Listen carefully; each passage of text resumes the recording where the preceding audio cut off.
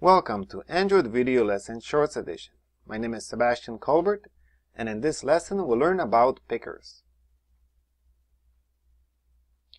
Pickers are ready-to-use dialogues for selecting time or date.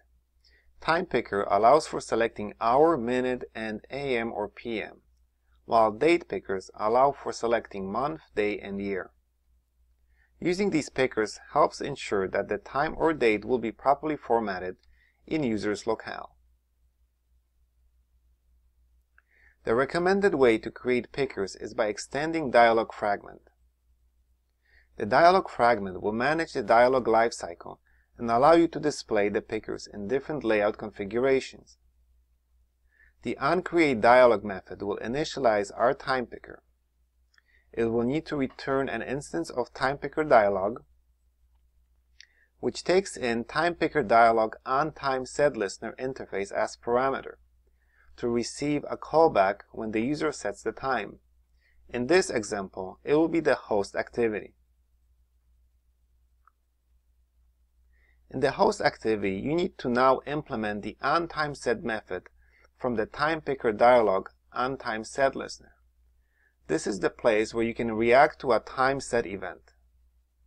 To display the time picker dialog, you can create a simple button with onClick call, which will instantiate and show the time picker fragment.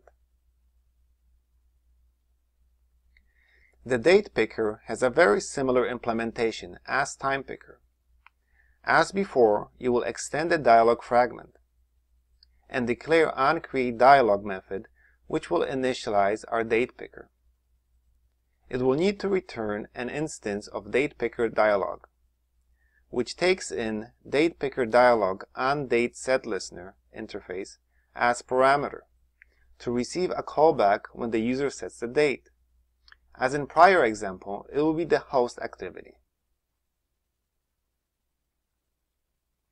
Again, in the host activity, you need to now implement the onDateSet method from the DatePickerDialog onDateSetListener. This is the place where you can react to a date set event. To display the date picker dialog, you can create a simple button with an onClick call which will instantiate and show the date picker fragment.